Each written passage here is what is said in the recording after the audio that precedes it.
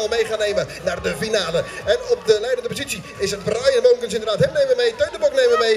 En we nemen mee natuurlijk de andere twee mannen van de Wicross. Tweede shakeout in de categorie boys. Acht jaar met uh, Piero van Schijndel, Stef uh, van Os. Tim Goossens, Max erbij, Jimmy uh, Jansen, uh, Boris Bergman, Jochem van der Wijngaard en Jorim Materman. En wie gaan wij meenemen naar die finale, die belangrijke finale, waar de punten zijn te verdienen voor